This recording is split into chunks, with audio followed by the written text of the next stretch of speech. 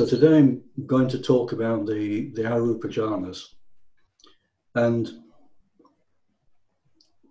there's a bit of kind of preparatory comments.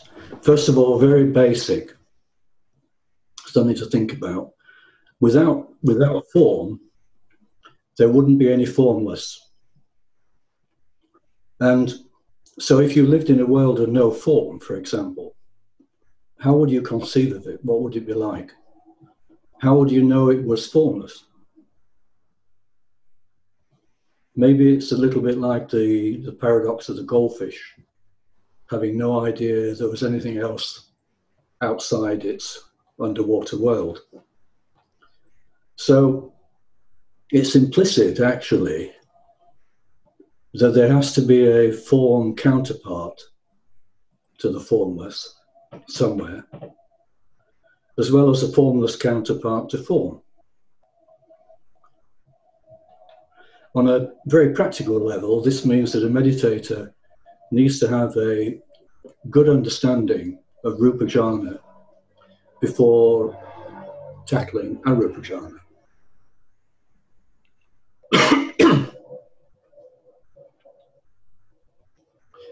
if you think you're ready, then it could be very, very simple.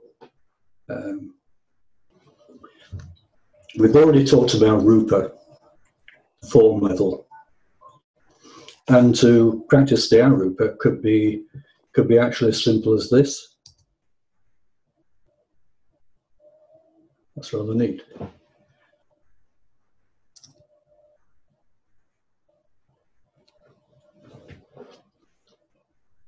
And then bingo. All you got to do is dissolve Rupa. If it was only as simple as that, we'll come back to what that really means in a minute. So again, kind of preparatory. Most of you are teachers, and the formless jhanas are one of those things where you've got to consider quite carefully before you attempt to teach it whether it's the, the right time and the right person and circumstances to teach the formless jhanas. The main consideration is whether a person has a sufficiently strong sense of self, as well as enough experience of the Rupa jhanas. It's not necessary to have fully, fully mastered them. In fact, I think a lot of you would uh, know from your own experience that when you started to explore the Arupa jhanas, it had a really helpful effect on understanding Rupa jhana. So it's one of those examples where you slightly take a step forward to clarify the previous step, and the whole thing becomes becomes interactive. Detaching from Rupa, though, it means you let go of all the anchors that we, we take for granted living in a sensory world. Those anchors are mostly a reliable sense of where we are in time and space, um, a certain predictability of what we're going to experience one moment to the next. All those factors that we, we're so used to all our lives which, which keep going our sense of I. And if a person is not ready, it can be very unsettling to let go of those too quickly, and it can arouse fear. Even if you look at a, it's difficult now, but before the reform period in Thailand, Burma, before the 1950s, if you went to a specialist meditation temple where the jhanas were taught, you would find that some meditators would practice, be quite satisfied with practicing maybe just the first Rupa jhana, possibly the first and second. Then another group who would want to go further and understand all the four Rupa jhanas would go further. Maybe not to full mastery, because mastery, even in those times, was something very rare. But then out of those group of people who practice all the Rupa jhanas to some degree, not all of them, would necessarily want to practice the Arupa jhanas. It wasn't a compulsory or expected stage. It was a, a kind of a little bit like a postgraduate degree. So if you wanted to, fine. But if you didn't, that was also fine. And the same thing applies in, in our tradition. There's no pressure or expectation that anyone in our tradition will master all the Rupa jhanas, let alone practice their Rupa jhanas. That's for yourselves teaching to know what um, you don't have an obligation to teach Arupa jhana. You certainly can't teach Arupa jhana to beginners. And then you also have to consider whether you yourself are sufficiently experienced to teach them, um, which is really something, something to talk about with your teacher if you come to that point.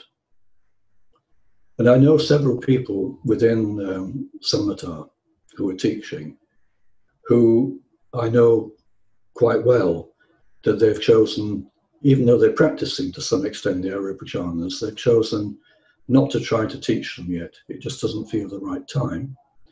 And even when they've had requests from members of their class to teach the Arupa they've gently declined, acknowledging to themselves they don't feel quite ready, which is really very good, you know, to know your own limits. But when it is the right time, you usually you'll know.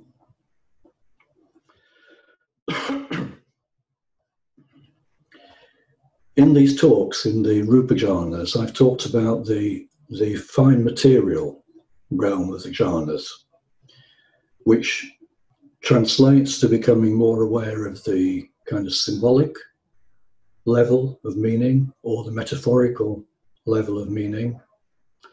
And the Yogavacara material is, this is central to the Yogavacara tradition.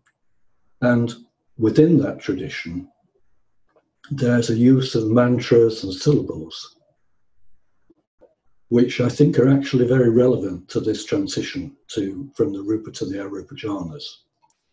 So just going back to um, the slide that we had, you probably know about some of this that when you put the letter A in front of a word in Pali, it dissolves the meaning of the word. So this a changes form to formless. And the same thing applies to um, anicca, permanence, anicca impermanence, atta self, anatta non-self. And in the Yogavacara tradition, there's developed a, a kind of cult or great interest in the in the different syllables. This is the Khom Cambodian character for A. And it comes up in many, many mantra, and sorry, yantra. And it's got an interesting characteristic that it's almost symmetrical. So you can imagine dividing that. So on the left is the original, on the right, it's divided into two parts. The black is the left part, the red is the right part. And then, if you took the mirror image of each of those two separated parts, so you've got the left part and its mirror image black, and the right part and its mirror image red. And then, if you merge them superimpose them, excuse me, you come to a point where they cancel each other out.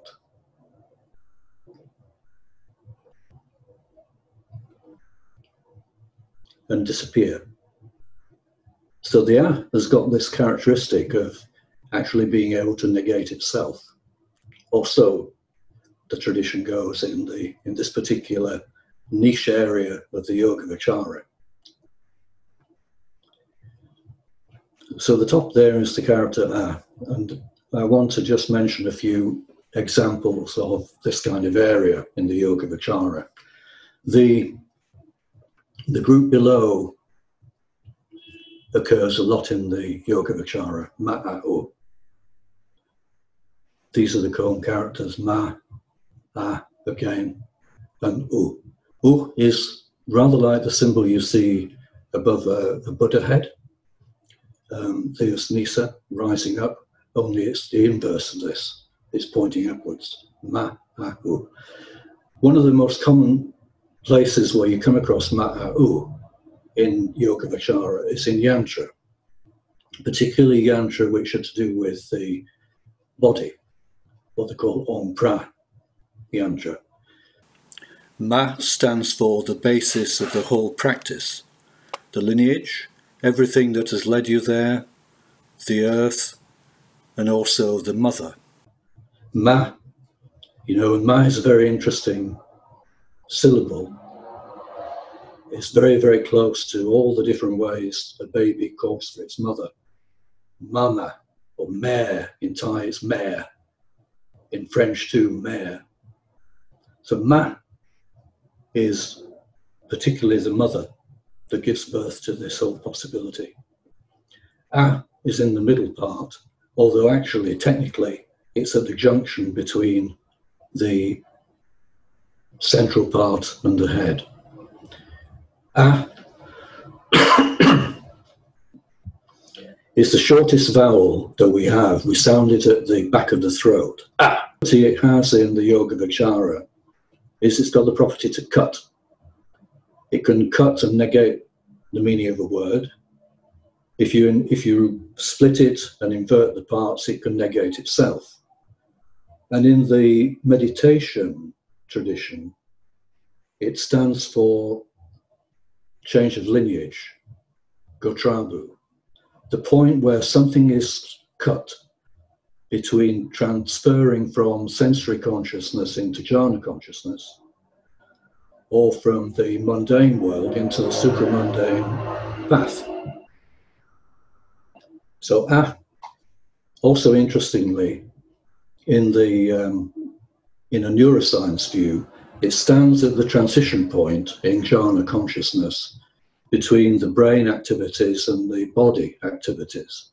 So the back of the throat where you sound it is just below the brainstem where that transition region is. So ma, a, then u arises. U is realization. U in Pali, if you put it in front of a word, gives the sense of upwards or higher, which is appropriate to this. Something from the foundation to some development, the body waking up, a transition point, and then realization.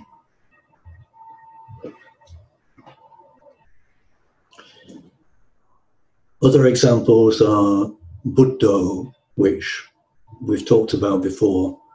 It's a very familiar way of recollecting the Buddha and the Buddhist path.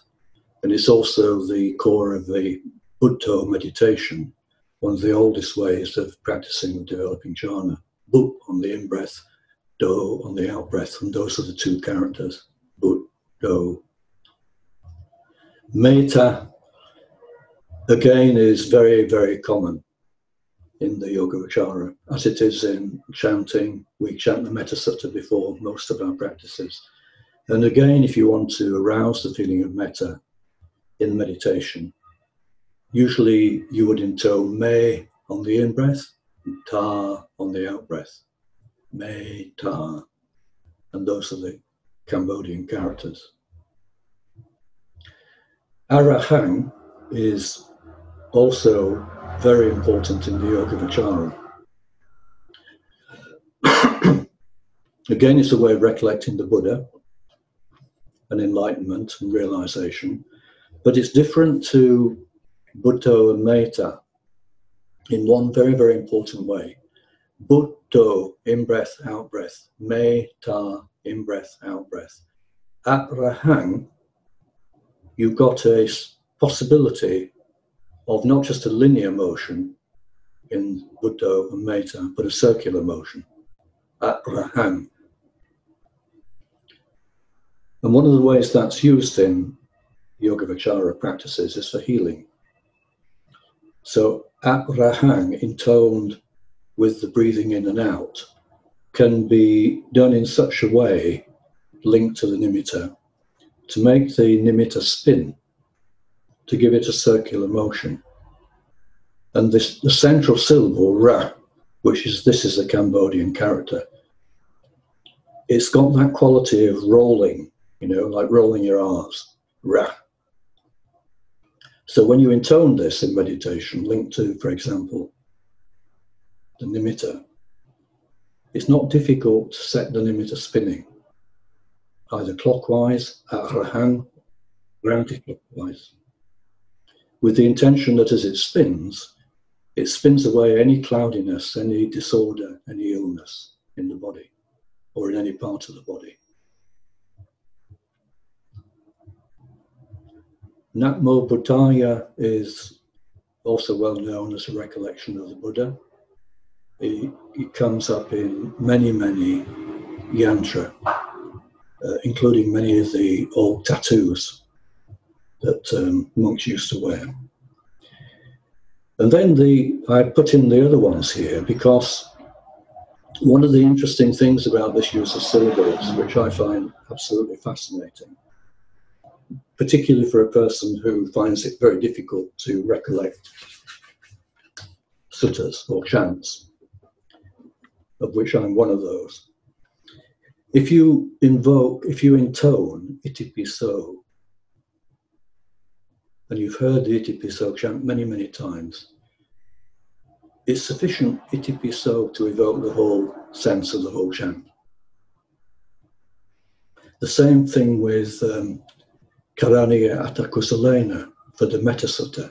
There's something about those first few words, the first few syllables, that once you've heard the Metta Sutta and understood a little about its meaning, just evoking, just intoning those words to oneself, Karaniyan Attakusalena, evokes the whole thing. If you want to go to the limit, Evam Me Sutam, which occurs at the beginning of all the suttas that Ananda recalled after the Buddha's death. Thus have I heard, Evam Me Sutam. You don't have to read all the suttas. Evam Me Sutam. If you're really lazy meditator, it's maybe maybe good enough. It's good enough for me. So,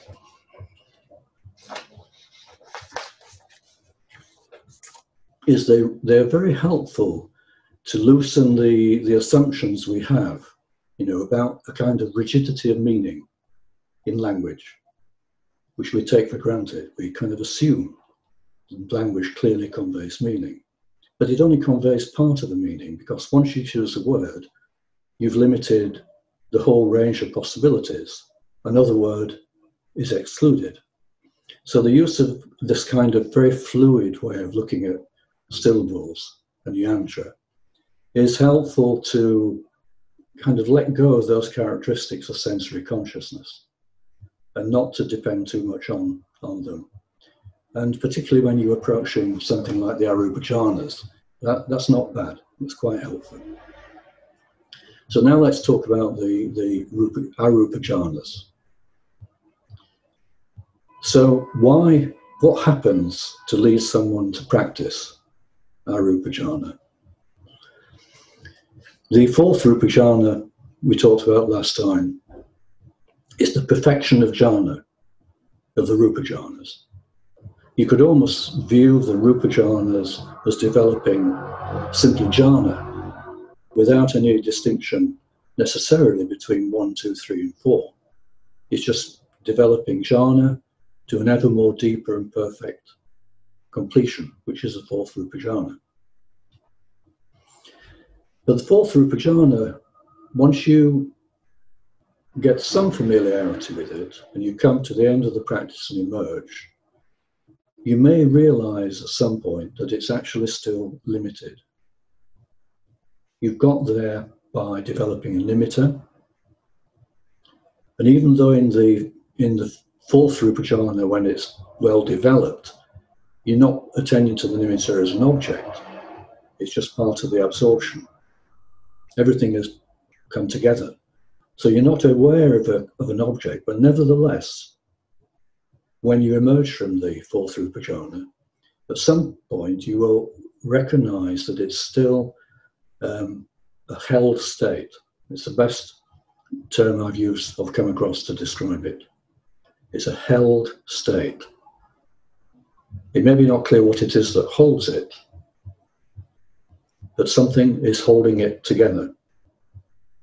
And you also realize that it depends on the whole development from the letting go of sensory consciousness through the developing attention to learning something about attachment to feeling.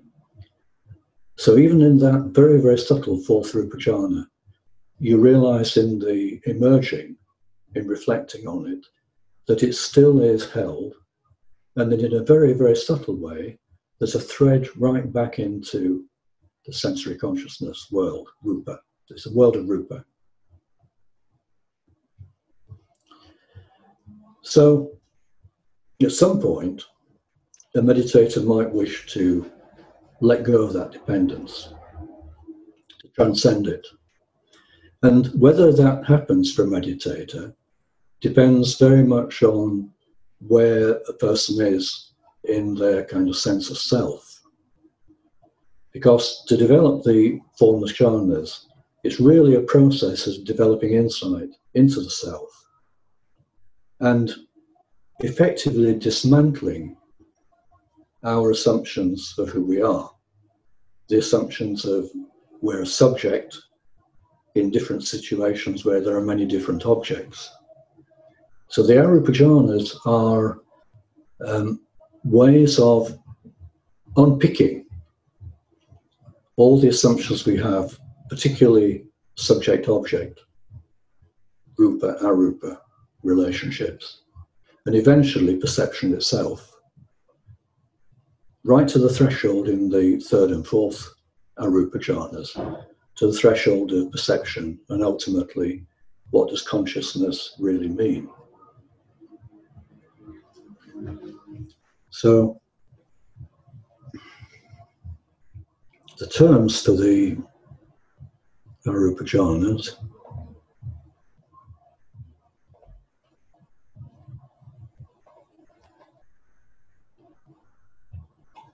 consciousness is vijnana, vijnananjayatana.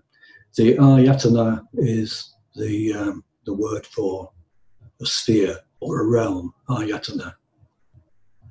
Akasa is the Pali word for space, and vijnana, the word for consciousness. So remember when I talk about those words later, that's where, that's the, the original Pali.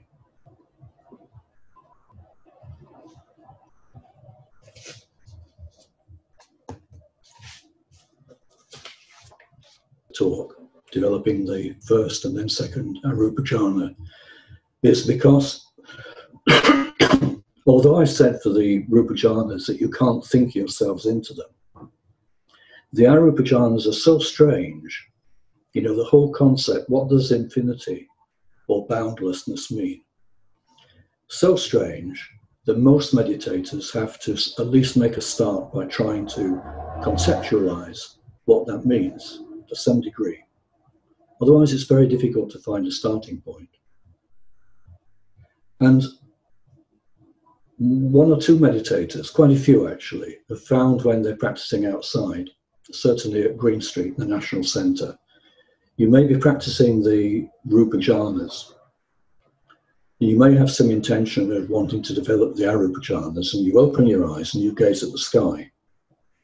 And sometimes in the in summer, the sky may be almost free of clouds. So this this is kind of an example of that. Just one one solitary cloud. And it's an interesting exercise for a meditator to look at that after practicing Rupa Jhana and imagine what it would be feel like, what, what the experience would be like if the sky became totally cloudless, no features to distinguish, nothing to compare, cloud here or not. And when you do, when you follow that exercise, that thought exercise, you realize that actually, even if it became cloudless, then there's still the problem that the um, there's still the problem that there's a horizon. And there are you know bits of the garden in your peripheral vision. And so it is far from boundless. There are still possible objects. But it's a starting point. So, if a meditator then closes the eyes back into meditation, if you're trying to develop the first Arupa jhana, probably using the longest length of breath, then you can have the intention of letting go of any discrimination, any comparison of one bit, one bit of the sky or the field of experience to another all limits, letting go of all limits. The reason the longest length is helpful, at least to begin with, is that as you breathe in a long breath, you can have the intention of letting go of limits. You know, breathing in a long breath, something expands until there's no limit whatsoever. Later on, it's not necessary to worry about the length of the breath, but to begin with, it can be quite helpful. And then, traditionally, as a kind of final stage of letting go of limits, in the Yogavacara, it's recommended that the meditator uses the syllables for space, or later for the second Arupa jhana consciousness. Use, this, use the words as ways of invoking the experience. So for the first Arupa jhana, the meditator takes the word akasa, or if you prefer the English word space, and use it as an invocation. And also behind this somewhere is knowing that space is not empty. The, the word um, akasa derives from the root kas, which implies radiance, actually. But it's not the kind of radiance that is an object like light or a, a discrete emitter. It's a kind of um, radiance more in the sense of a, of a kind of alive potential. So when you use the syllable akasa, you intone quietly to yourself once or twice or three times, Akasa, Akasa. And at the end of the word, the final A, Akasa, you have the intention that as that end comes, it creates a space into which the invocation is that you experience the first Arupa jhana, infinite space. Akasa, let it become manifest, effectively. Okasa, if you remember in the Yogavacara, is this magical word. Okasa, let it become manifest. So in the evoking of the first Arupajana, Akasa, you come to the end of it, let it be manifest is implicit. And you may find yourself becoming part of infinite space. And when I say becoming part of it, you have to sometimes, to begin with, play with this. But what you find is that you start to get a feel of what it means to let go of limits and boundaries. And to do that, you find quite naturally, this is not a thinking exercise, you find that you have to actually go into space, become space.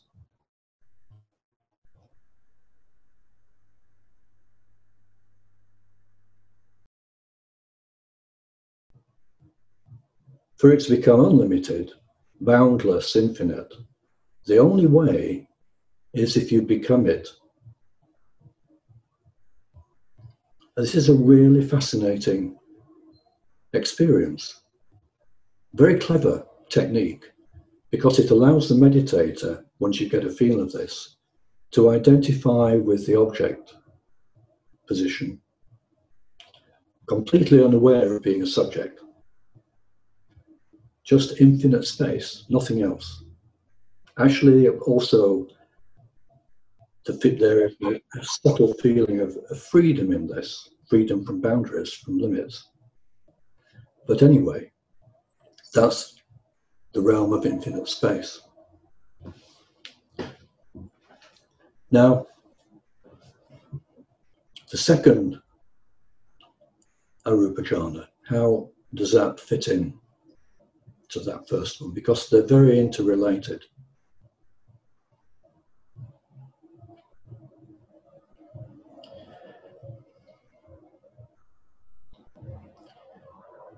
How to move, how to develop the second Arupa which is infinite consciousness, which is a counterpart to the first. Because if the object which your experience is, is infinite, somewhere there has to be in the background, behind you, or somewhere, there has to be an infinite consciousness or a boundless consciousness to, to hold that experience. But in infinite space, you're totally unaware of it. But yet, you know, it has to be there somewhere. And there was a lovely book written back in the 60s, late 60s, by, it was called, some of you may know of it, it's not very well known now, called The Foundations of Tibetan Mysticism by Lama Govinda, Anagarika Govinda. And he wrote extremely relevant to this, even though he's talking from a Tibetan tradition. He knew quite a lot about the um, Theravada tradition. He wrote that in the moment in which a being becomes conscious of his consciousness, he becomes conscious of space. And in the moment in which he becomes conscious of the infinity of space, he realizes the infinity of consciousness.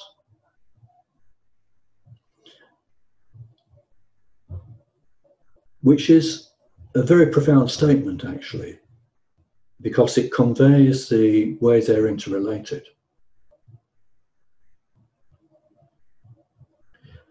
Which is only something which can be understood by starting to explore the Arupa jhanas. You know, the whole the whole technique of the idea of a, a, a no limit, boundaryless experience infinite experience is a fascinating technique which allows the meditator to separate the subject object poles. Of course, they're still both there and counterpart, but the experiences of complete identification with either the object pole in the infinite space, first in Arupa or the subject pole of consciousness in the second Arupa jhana. Very clever technique. You know, how did that? How did someone think that? Well, I guess it was the either the Buddha or someone before the Buddha, but very clever. So I think that is enough chat and we'll practice for a little while. For about half an hour. And this time I will make a great effort to remember to sound the bell. First of all, at the beginning, I'd like to ask you to practice as well as you can the Rupa Jhana. Don't worry too much about the distinctions if you've been listening to these talks, develop attention, move to the nimitta, the touching, the settling, and allow yourself to just deepen and deepen the stillness towards the, as deep as you can go, to the fourth rupa jhana. Doesn't matter if it's perfect. And then I'll sound the bell for a second time, and I'd like you to um, move towards the longest length of breath again. Breathe in and develop the first Arupa jhana, infinite space.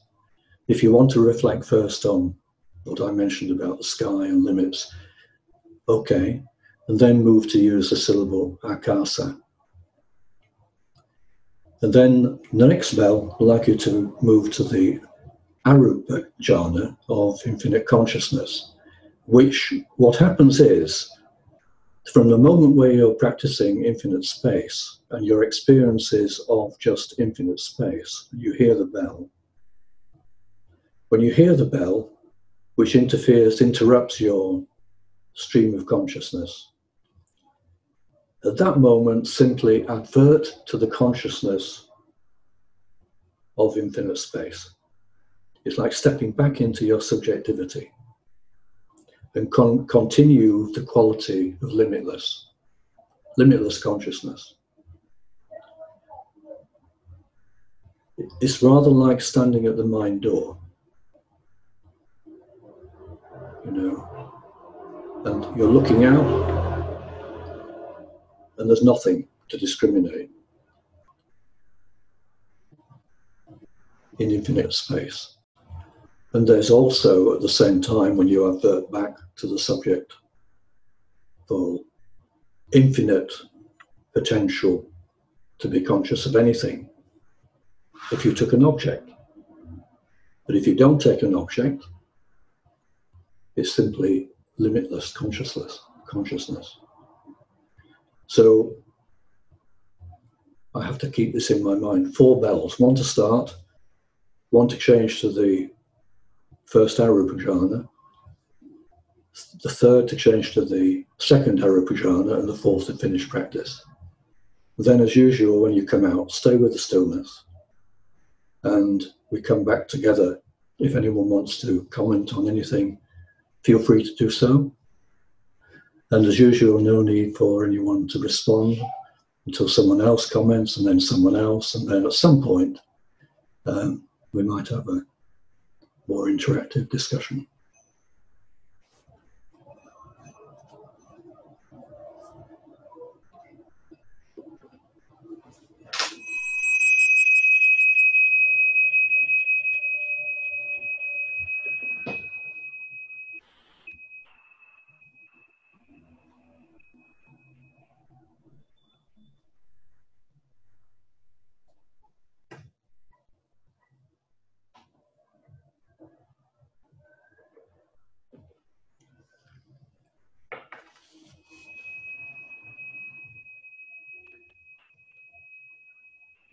So finish practice, but remain in the stillness for a while before returning to thinking.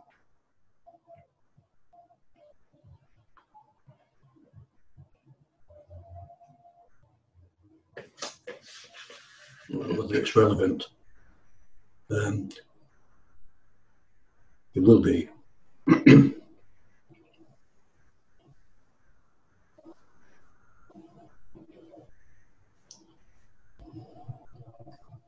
Yeah, I had a, like a, quite a strange experience where I was working my way through the stages, and it just felt like a really heavy downward energy in, in my stomach, and I was struggling with the shortest breath, so I went to the longest breath, um, and I just had a weird desire to like expel my body of all its air, so I was could only do a short in breath, but then I was really the longest breath was really prolonged, and I just had the desire to just sit there with like an empty. I just like held it for a while. It just felt very natural. I'd never done that before. Um, I think it might be in reference to like letting go, hmm. um, but it felt um, and it helped. It just helped with what was going on in my body at the time. so yeah, that was my observation. okay.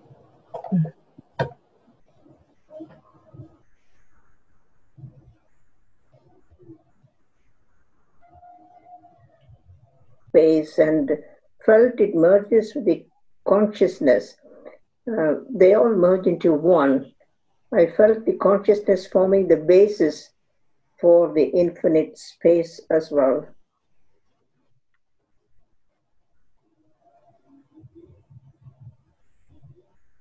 Both merged. It's just the consciousness is left in the end. Mm-hmm. I don't know if that is the infinite consciousness or it was the consciousness. Mm. Mm. Did it happen for you before I sounded the bell to move to the consciousness, infinite consciousness? Did it happen naturally for you? Naturally, yes. It was there at the basis of uh, while I am in the spacious. Yeah. Mm.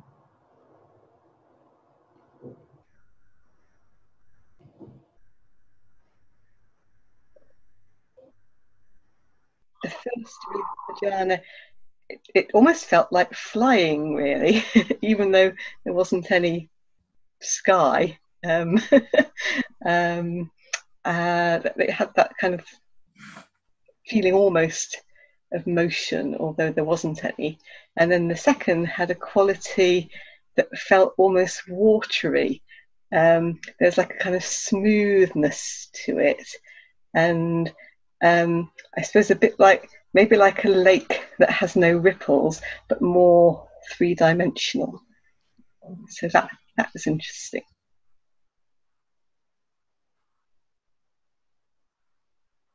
Peter?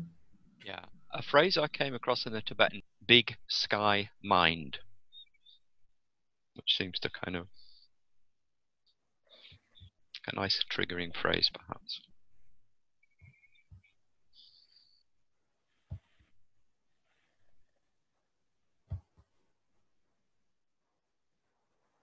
Um, and it's really i mean i'm still in that kind of in that kind of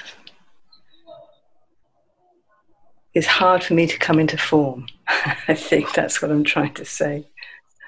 Um, but i did catch because normally i'm somebody who's who's sort of like you know i'm spending the you know spent best part of my life trying to come into form and so I'm still at the piti stage. So it was quite interesting to to actually with a group and with the intention to go a bit further.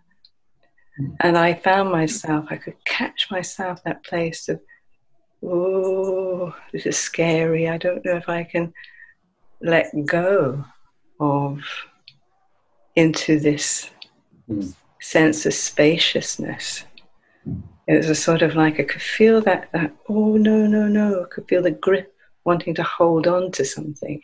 Mm. and it sort of kind of felt like oh because it resonates. It has a sort of similar feeling to a place that that I experience um, of especially in the mornings of waking up and feeling quite lost and um, not quite in form, and that that's a lostness, a sense of real mm.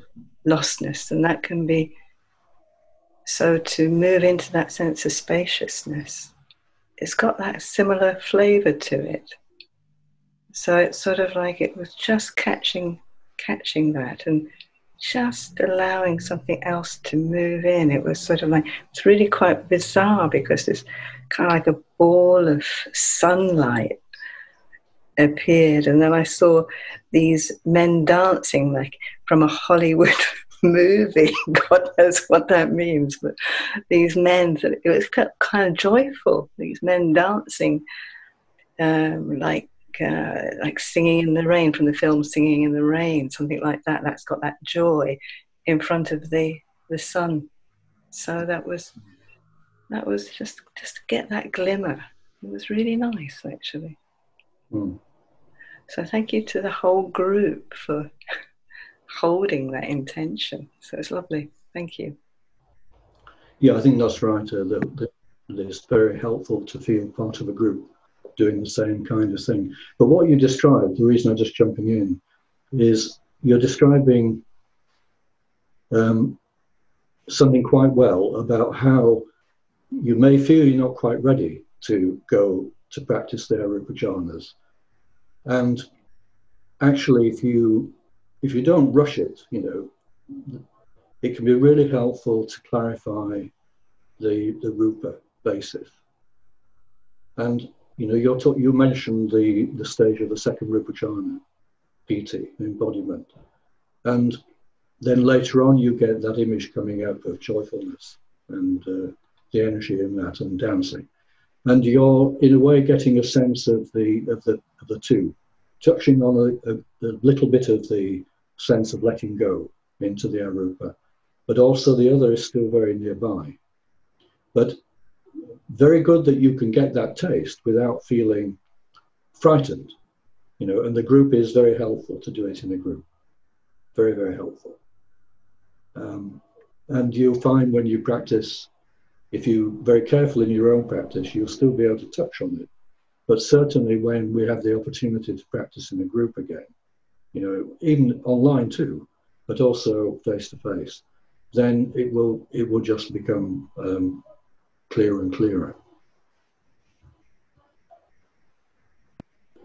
Thank you very much.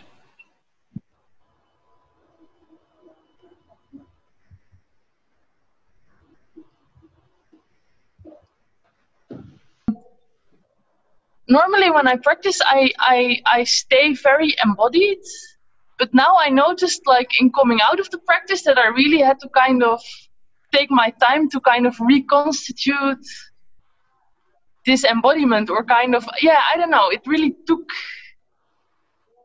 it really took took a bit yeah just a bit longer to kind of get back into mm. this embodiment kind of feeling yeah yeah. I mean, again, that's a similar experience to what Pauline was just talking about. That helpful aware comparison between the two modes, rupa, arupa, they they depend on each other in a really interesting way. And it's very helpful when you get more experience to actually move not just between the Rupa jhanas, the first to the second, the first to the third, or the fourth to the second, and to get really familiar with the feel of each one. But many meditators have commented to me how helpful it's been when you get more familiar with what you're talking about to be able to recognize the same thing that you just said, that, that you can feel the process of reconnecting to, to the Rupa world, to your body and you can feel the process of and not be afraid of it, but being less connected, in other words, freer. Sarah mentioned the kind of feeling that, that you had, and you were trying to put words on it about the flying and so forth. But looking at you as you were talking about it, the quality that uh, that I will pick up in that is feeling more free, you know, a bird is a very good example. What's it feel like to be free to fly, you know, weightless like that? So the, the quality of the arupa jhanas when you come back to the stillness, which is subtly different to the rupa jhanas, is, is the freedom of boundaries, freedom of limitation.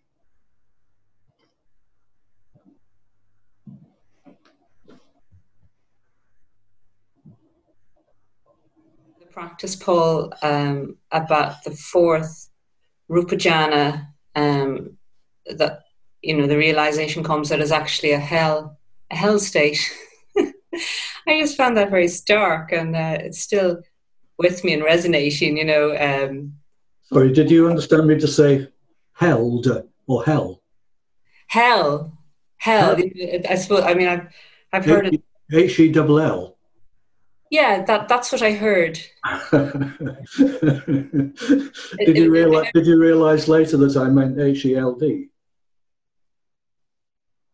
So, no, no. If, if that's what I heard, which is interesting because I have that sense that the, in the fourth Rupa Jhana, you know, there, there comes if there's a progression with the jhanas that you know each leads to the next, um, and that there's a sense of dissatisfaction.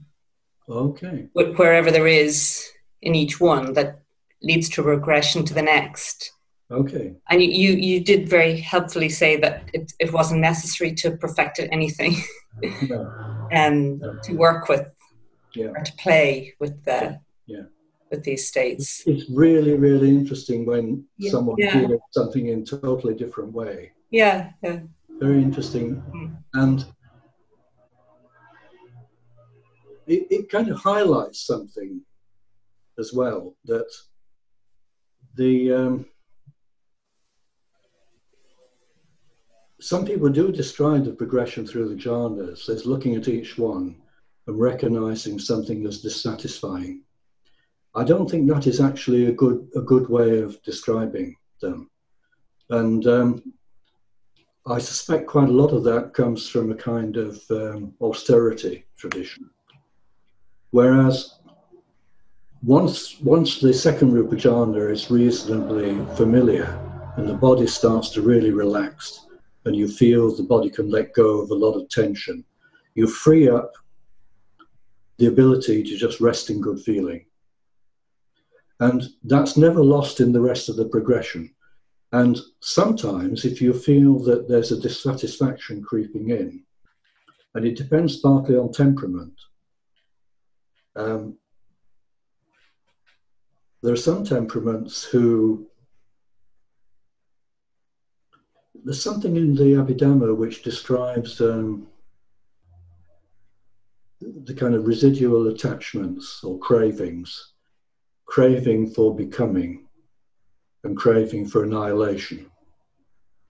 It goes back to kind of very subtle psychological um, patterns that we experience in life. So, someone who tends towards um, uh, the kind of emptiness or direction is subtly different to a person who tends towards uh, wanting more and more happiness. Different kinds of craving, which eventually become um, not, not both come together in the end. But so if you find that in the later jhanas, there's a sense of dissatisfaction creeping in, it's quite helpful to go back to the earlier stage, the, the, certainly the second Rupa jhana, to really familiarize yourself with the satisfaction and contentment and allow yourself to fully experience it, not to resist it. Um, I know this from not just my experience, but several other people who've got a tendency to drop into emptiness.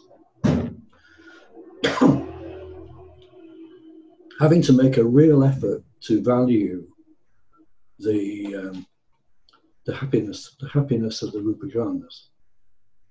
So the two are very interesting in counterpoint. And when you move between the two, as you just, just trying to describe, it highlights this. And it can help you then recognize that, you know, it's of real value to developing happiness in the Rupa jhanas.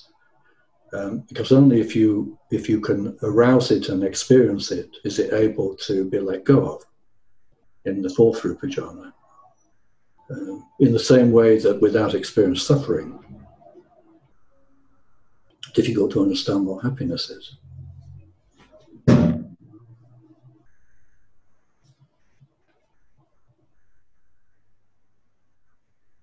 Um, it's quite delicate, and this is why it's so important to be careful about the introducing it to people in your class if you're a teacher, but also for yourself.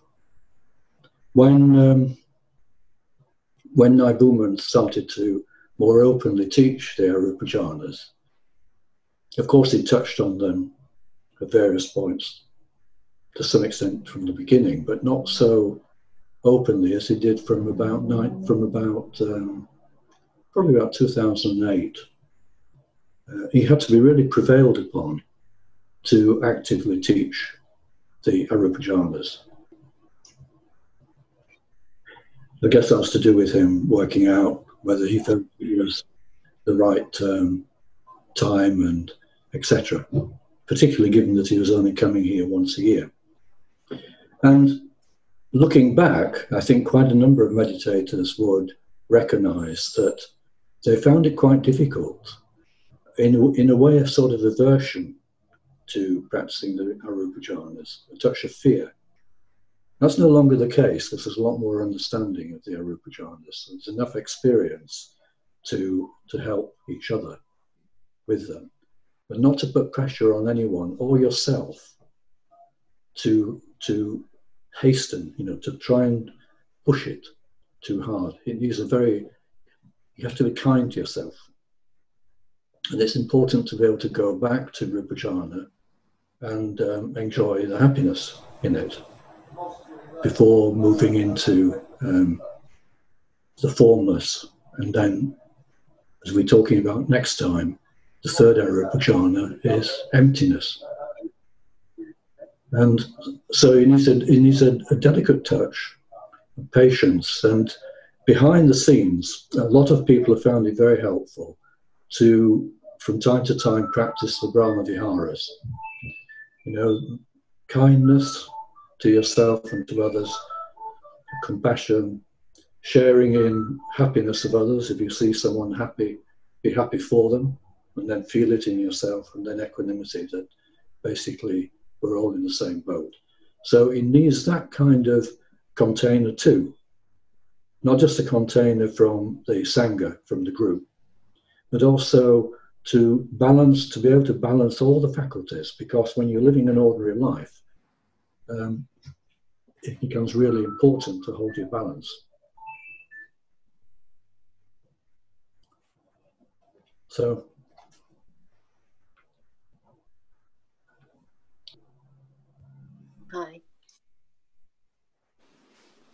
Oh, do you want me to say something? Up to you up to you. Mm. Uh, thank you, Paul. Um, yeah, I am practicing Arupa um, from time to time, and then particularly with uh, Nai Boonman's course. And uh, yes, today I had the amazing, well, from my point of view, it was an amazing experience um, I felt a really deep sense of peace. And uh, yeah, I felt really happy, mm-hmm. satisfied, really deep satisfied. I just felt, yeah, deep sense of happiness mm. Mm. and peace. Yeah.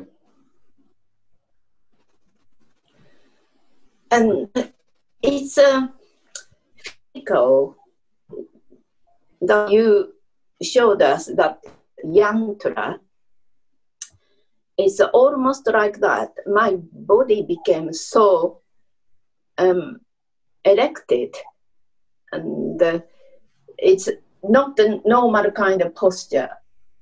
Just my body became so kind of rigidly up, and then wanted just. Uh, opens up the kind of chest and then it's a elate really top and then it's a front was really kind of open space but the body was integrated mm. And consciousness was hardly probably there mm. and uh, then gradually i felt so peaceful very, very deep peaceful. I never experienced like that before. So thank you, everybody. Yeah. Mm. And that kind of uh, happiness is very interesting. Some people who actually found it quite difficult to fully develop happiness in the rupa jhanas, in a sort of paradoxical way, find it quite freeing in the Arupa jhanas, and are maybe a little bit surprised that real happiness can arise. Exactly as you're describing, but also you're stressing the deep, deep peacefulness. And when you come out of a practice like that and you just stay with the stillness and experience that deep peacefulness, you realize also that it's got a deep quality of freedom. Freedom from suffering, which is subtly different to the held state, H E L D, of the Rupa jhanas. Free of that. No need to be held anymore.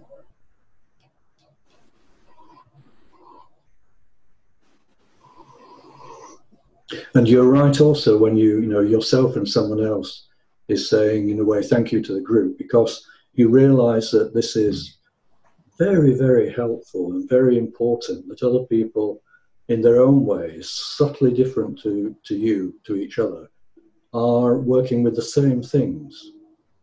And somehow it all comes together in, in, in helping each person to go that little bit further even online like this. It's really quite remarkable. Something I, I, I didn't fully expect, you know, um, giving talks online or practicing online in this way.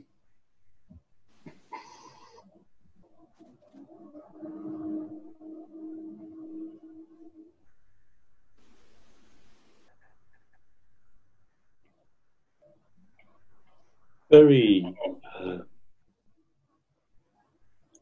very still. Um,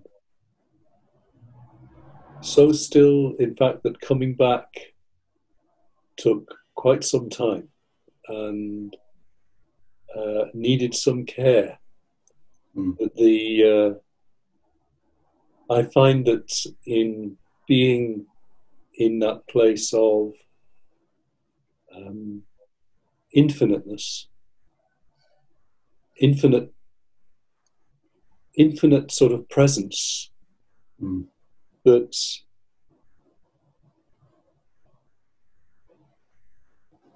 finding um, how to say a, a, thread the wish the pleasantness the deep the depth of that um, is very has a kind of magnetic quality and and that um, it is it is as if staying there is in some ways, many ways, preferable to coming back. And so to find the way, mm. the link, um, needed really quite some care today, which was very interesting. Mm. Um, and uh, uh, that actually showed something about how entering works as well. Yeah so that the act of finding the link to more actually to different kind of, of feeling and different kind of presence in the body but making links through that um, and seeing a kind of reluctance to do that to begin with uh, but finding how to do it very very interesting mm. very Mm. Very stirring in a way. Is it coming back? Is it coming back to different qualities of the body and feeling? Yeah. Very interesting. Yeah. And again, this is why it's so helpful practicing both Rupa and Arupa jhana. Um, what you're describing is that it allows you to recognize um, the kind of depth that's possible and then through the comparison to have it needing to come back to the realm of you know form, um, it, it highlights the depth you've been. And what's really interesting about that is that many meditators uh, practicing in the early stages of Rupa Jhana, or even right through to the fourth Rupa Jhana, um, don't always recognize just how deep the absorption can go.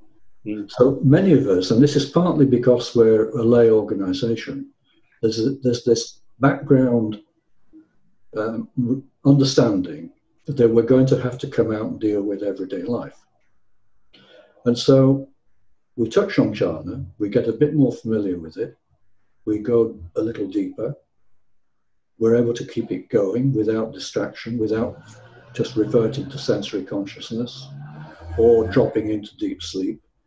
But it's, it's actually quite rare that a person fully develops each of the jhanas to the depth that each is possible. Full absorption, which is rather like you're describing. Even the first Rupa jhana can come to a point where it becomes sufficiently deep and absorbed that there may also be that urge to stay there, like the kind of magnetic bit you're talking about, where everything really comes together. That often meditators don't fully realize just how deep they can go. And that's fine, actually, because particularly when you're leading a, a, a lay life, you have to, um, it's quite a complicated process. But when you move to the Arupa jhanas, it's so different in letting go of boundaries that it can make it clear. And then it's really, really helpful when you're going through the whole process again from the first to the second or third, particularly if you've got time. If you're on a retreat where there's, there's a lot of time, to allow yourself to fully experience each one. And it doesn't necessarily mean sitting for one or two hours. It's more to do with completely trusting that you can go deeply into absorption without fear that you're going to be able to come out. And you set the resolution, and once you've done it a few times, you realize that going in and the resolution to stay and coming out become more familiar and then it's all normalized in that sense.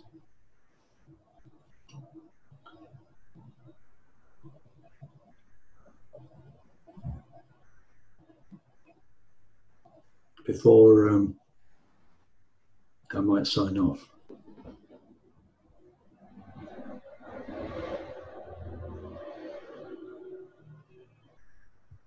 A very wide range of comments, you know, they really illustrate how everyone has different insights, uh, which are so so helpful to everyone, including me, to hear those.